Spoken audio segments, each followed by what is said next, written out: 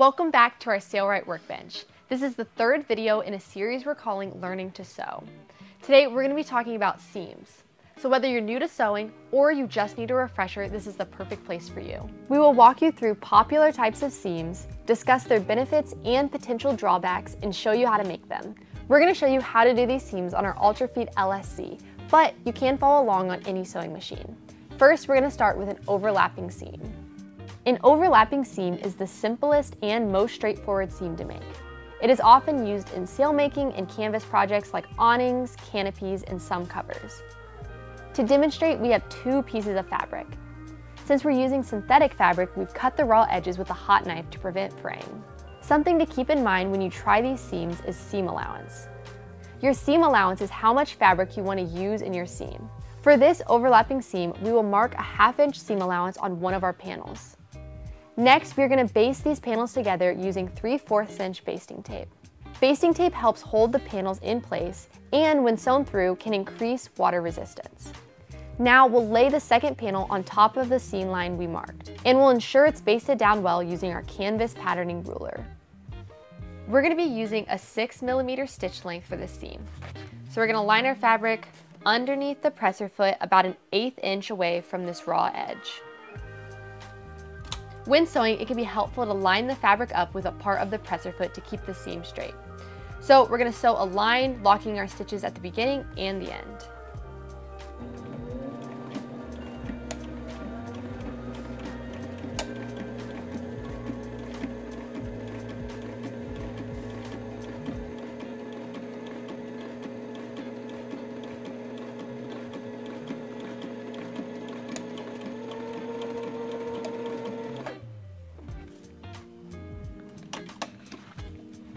Now we're gonna cut our threads on both ends.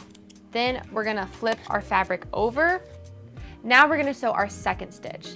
So we're gonna line our fabric assembly up about an eighth inch away from the unfinished edge, just like the other side. And we're gonna sew a line of stitches, locking the beginning and end of our stitches.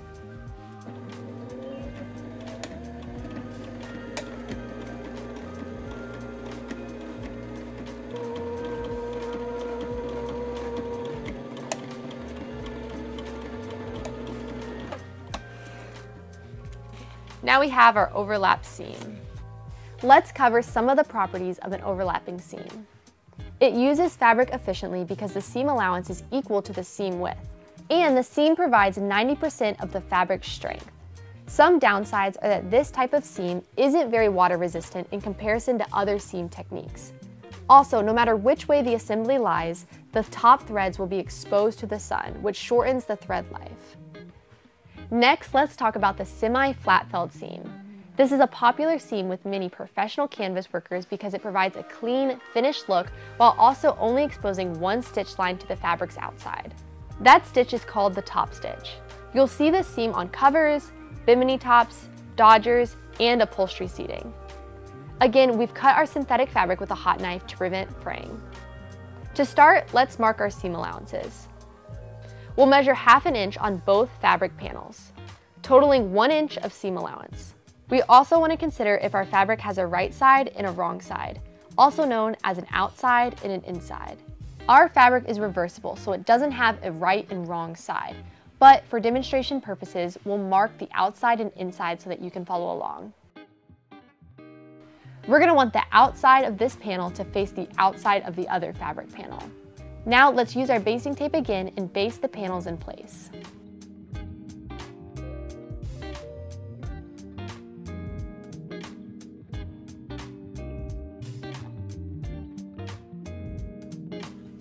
We're going to be using a magnetic sewing guide to guide our stitch and keep it about a half inch away from the edge of our fabric. So we're going to take our magnetic sewing guide and put it on our needle plate at the half inch mark now we're gonna place our fabric under the foot and sew a line of stitches.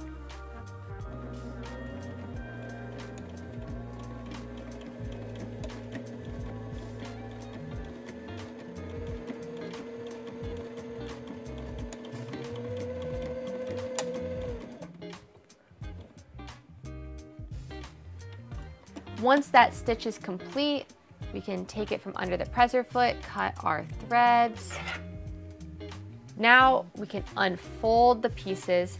Now the two outside panels should be on the top and the two inside panels will be on the bottom. So we can take our canvas patterning ruler and you'll wanna just crease this fabric down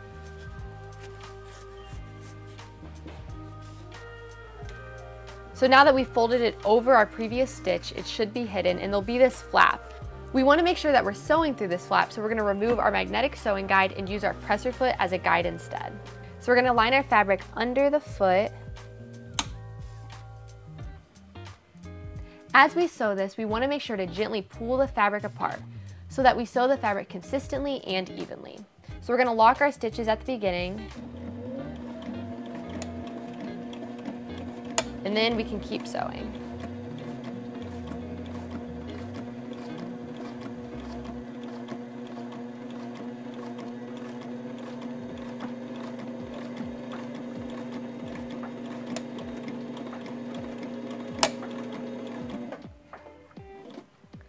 So now that we've locked our stitch on the end, we can go ahead and take this out. This is what it should look like when the seam is done. You'll see a single top stitch and then you'll see two stitches on the back. The semi-flat felled seam is popular because it is nearly waterproof and exceptionally strong. Its strength is equal to 95% of the strength of the fabric. And because one stitch is hidden from the sun, even if the top stitch fails, the other usually won't. Its only downside is how efficiently the fabric is used. It uses two times the seam width as a seam allowance. So a half inch seam will take up one inch of fabric. Next, we have a full flat felled seam which is the most intricate of canvas work seams. It leaves no raw edges exposed, so you can use scissors to cut your fabric without worrying about fraying. It gives a finished edge on both sides of the fabric and has a hidden stitch. Again, let's start by considering whether your fabric has a right and wrong side. So we're gonna mark the inside and outside for demonstration purposes. We'll have one panel with the outside facing up and the other with the inside facing up. Then make a line measuring half inch from the fabric's raw edge on both panels. We're going to put basting tape underneath the half inch line we marked on the outside surface panel. Then we'll baste the panels together with both outside surfaces facing one another. The raw edge of the top panel should align with the line we marked on the bottom panel.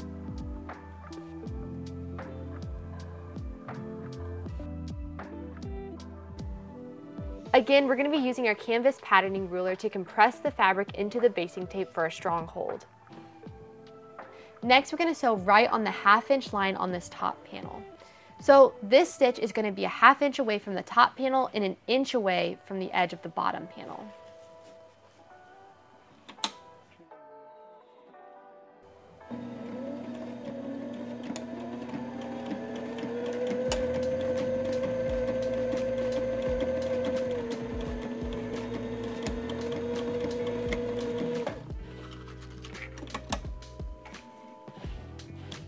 Now we'll take basting tape and apply it to the half inch lip of the bottom panel. Next, fold it over the top panel's edge.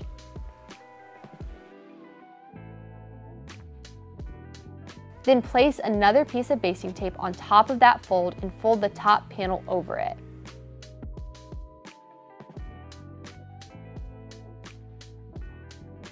We can use our canvas patterning ruler again to crease it well. Now we have our inside surfaces facing up and we're gonna put it under the foot and sew about an eighth inch away from this folded edge.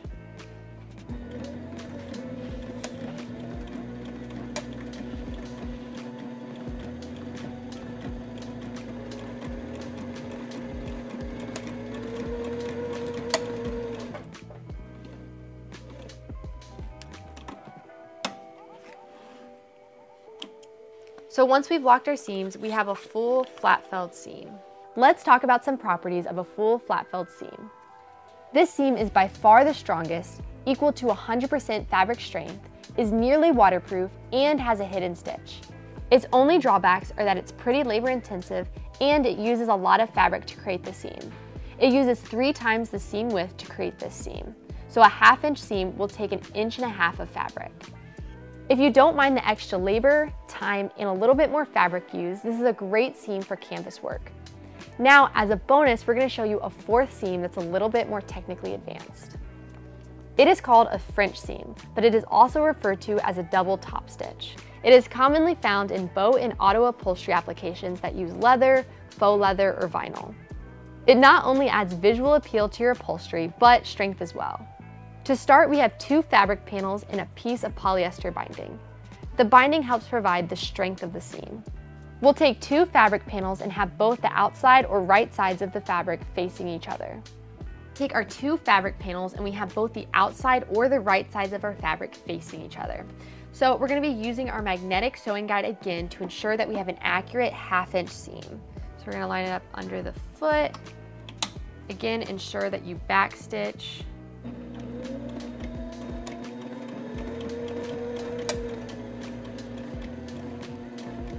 When you sew this seam, make sure to take your time to ensure that the edges of the fabric line up exactly.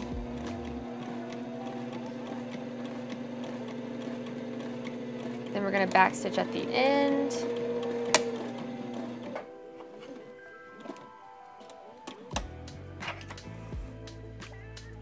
So now that the first stitch is finished, let's unfold the panels and then you'll see that the inside or wrong side should be facing up and you'll have this little flap in the middle. So we're gonna take this back to our table to add some binding. We are gonna create a couple top stitches on either side of the first stitch. To do that, we must flatten out these two flanges and attach our binding. We'll use basting tape to do so. When attaching the binding, it is very important that these flaps are flattened.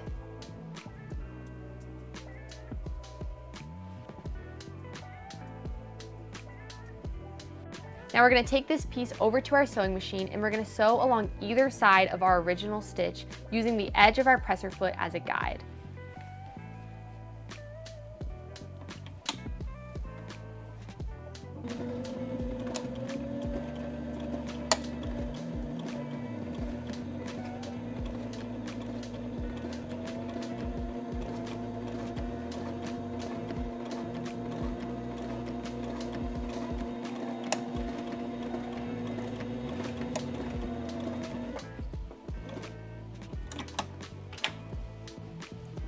Once we've done one side, we'll repeat the process on the other.